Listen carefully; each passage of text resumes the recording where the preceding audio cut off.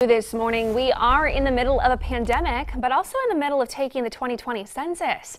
First News Weekend morning anchor Connor Kick is live in our newsroom explaining why this is a difficult year to do it. Connor. Well, good morning, Chelsea. Ohio's 2020 census is actually shaping up to be one of the most difficult up to date. And that's because while the pandemic is keeping people isolated, more people in communities are struggling to get other people signed up and counted.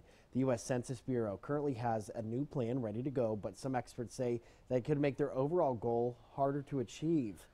Like so many other things, the coronavirus has complicated the 2020 census, and it's usually done by in-person methods.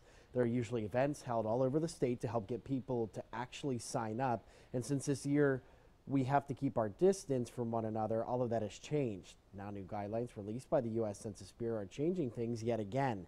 Field efforts and self-response options will now stop on September 30th, a month ahead of the schedule. And some say that isn't a good thing to cut the door knocking, which are efforts that are going to go to those, you know, undercounted populations, um, just kind of exacerbates these problems.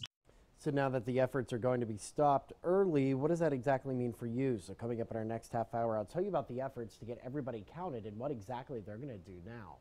Live in the newsroom, Connor Cake, First News this morning.